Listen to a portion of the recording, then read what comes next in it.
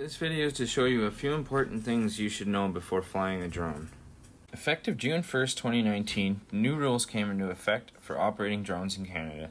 Most importantly, all drones over 250 grams must be registered and the pilot must have either a basic or advanced operations license. Visit the Transport Canada website and you'll find all the rules as well as a link to write your license.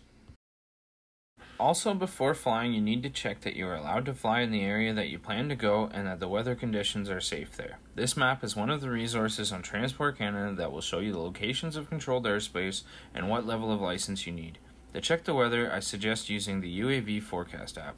The free version will allow you to view a 24 hour forecast. Using the specifications of your drone, you can set the limits for all these parameters and they will display either green or red accordingly. Even though it's safe to fly, there are still a couple of things that should be checked prior to takeoff. First, make sure that all the propellers are tight. This is the DJI Mavic Mini and it uses Phillips screws for the props, but there are several different propeller designs, so make sure you have the right tool with you. Lastly, double check the settings. The drone needs to have an appropriate return to home altitude at which it will not hit anything. You can check that the inertial measurement unit and compass are both reporting normal and do not require calibration. Then, under the advanced safety settings, make sure the desired behavior is selected for losing signal. The app states that takeoff is permitted and the pre flight check is good.